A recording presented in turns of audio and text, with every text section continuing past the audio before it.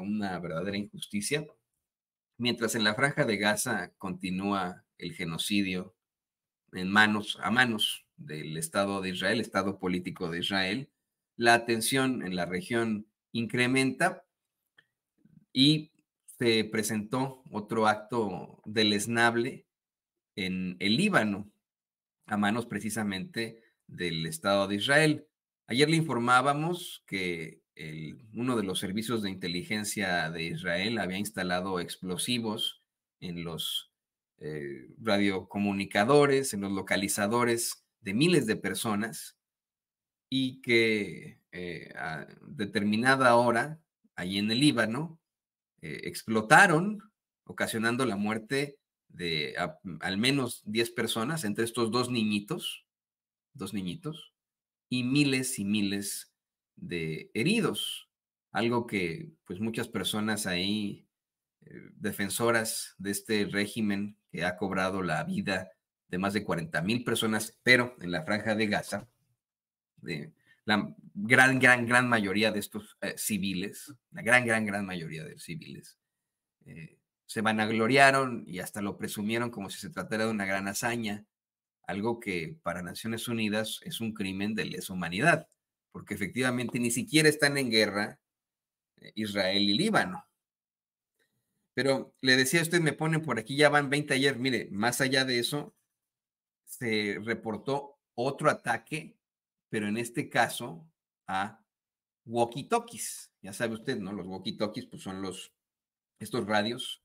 con el que uno se puede comunicar con eh, sus eh, compañeros de trabajo, etcétera. Y en ese incidente, al menos 14 personas murieron por explosiones de walkie-talkies ahí en el Líbano, con muchas reservas, porque generalmente los medios de comunicación corporativos justifican el Estado genocida de Israel. Le voy a compartir una nota de AFP, de la agencia AFP. Rápidamente, también quiero hacer la aclaración que le hacemos siempre aquí en Sin Censura, no tomamos facciones y estamos denunciando la injusticia, la maldad, el asesinato en masa, el genocidio, los crímenes contra la humanidad perpetrados por un Estado político que cobardemente quiere utilizar las etnias y las religiones para llevar a cabo sus maldades, su, eh, pues vamos, sus actos terribles en contra de la humanidad.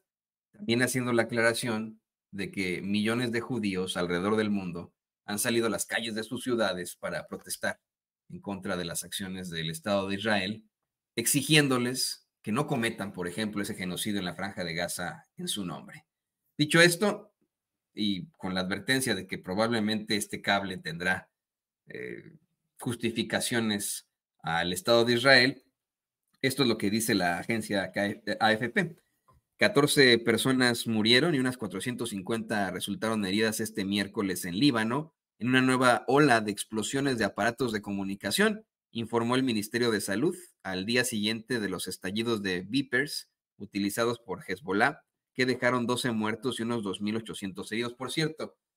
eh, en esta justificación que hacen de que supuestamente era en contra de los militantes del grupo islámico Hezbollah, eh, se da a conocer que, por ejemplo, en, el primer ataque a los radiolocalizadores, a los Vipers, a los llamados Vipers, de todos los que mataron, solamente dos eran de Hezbollah. ¿Mm? Dice, bueno, esto, esta es parte de la información que se da eh, más bien a cuentagotas, ¿no? Por parte de, de, eh, pues de la agencia AFP. Y le tenemos otra información aún más indignante, le quiero pedir